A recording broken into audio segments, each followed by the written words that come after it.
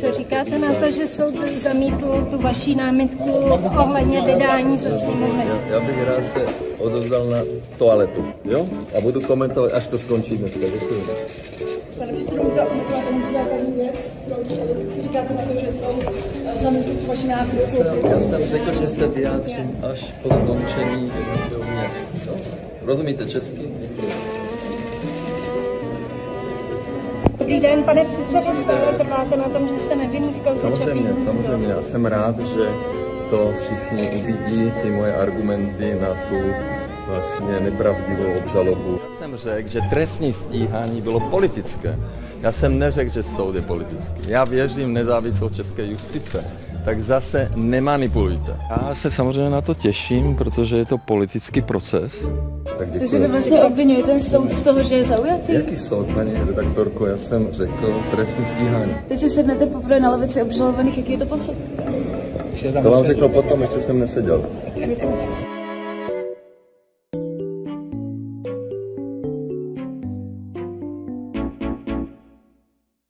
Já se, já se omlouvám, já jsem se rozhodl, že nebudu už komentovat ten průběh eh, líčení. Myslím, že to je druhý znalec, kterého já teďka říkám do médií, já jsem si to nemohl dovolit. Je to podvodník, je to podvodník, který dělá podivné znalecké postupy. Pardon, dovolíte? Paní Babišová, můžeme se zeptat, jak vnímáte ten soud? Budete vypovídat dnes?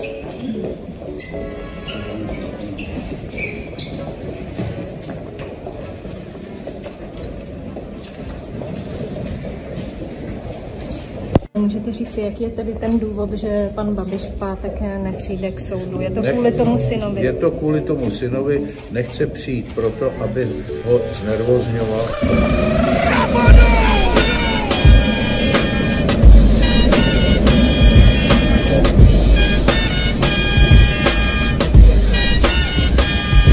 Jste se osobně tedy účastnil? Přišel jste osobně? já přišel jsem osobně a, a budu se spojit, obhájce, obhajoba se bude a destabilizovat určitě. Ne, on chce šetřit syna. Děkuji. Je to blbost, protože on by nebyl schopen mě destabilizovat a prošlo to, bylo to v pořádku, všechno bylo dobrý.